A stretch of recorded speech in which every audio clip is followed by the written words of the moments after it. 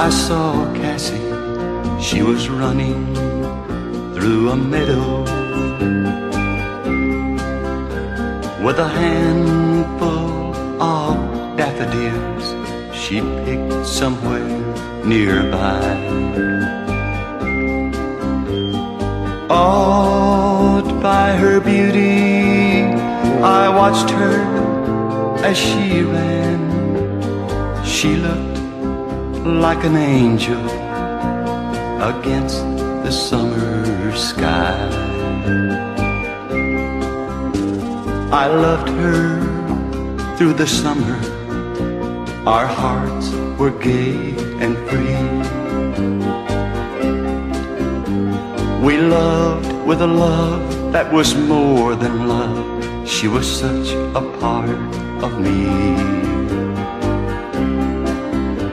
I'd often look at her and think she's too good to be true. She was so far above all the other things I knew.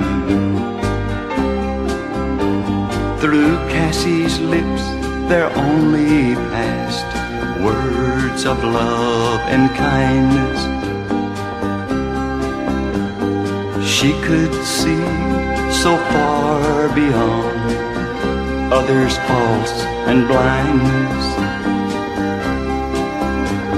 One morning, without warning, I awoke and she was gone.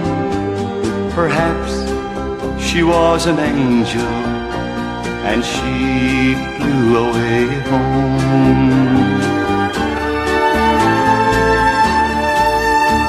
Now I run through the meadow, hoping that she'll hear me.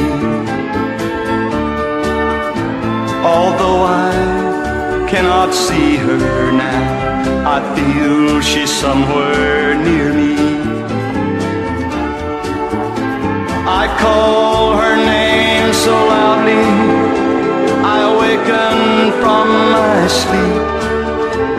To find that I've just dreamed again of this girl so kind and sweet.